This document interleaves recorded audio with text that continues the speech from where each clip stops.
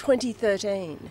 It's a challenging year for the state's grain growers. And while we can't control the weather, timely and cost effective decisions to control weeds in winter crops can boost yields. Effective weed control can make or break a crop. Because we've had such a late and varied break to the season, they need to be mindful of what they're doing this year.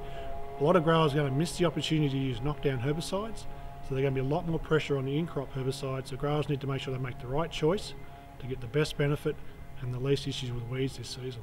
New South Wales DPI's Weed Control Guide gives growers the latest information based on independent trials and research. The guide reports on herbicide resistance. A big issue for farmers, the main offender is annual ryegrass, with resistance now being found in wild oats, sow thistle and wild radish. Now most growers in New South Wales have obviously been trying to rotate the herbicides groups but sooner or later, if you use a chemical often enough, you're going to develop resistance.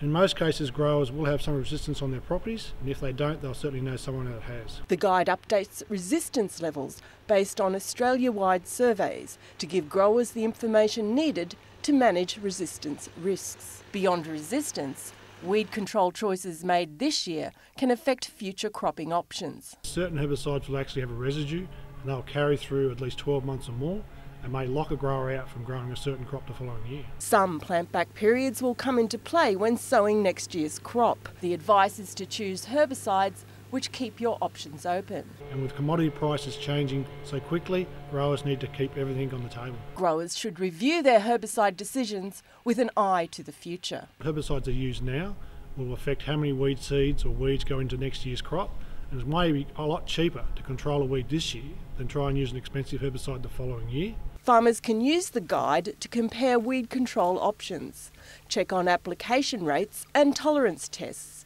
review herbicide, fungicide and insecticide compatibility.